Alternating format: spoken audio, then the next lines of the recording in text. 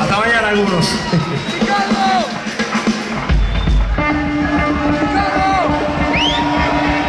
Nos vamos todos a veranear al país de las banderitas y los globos.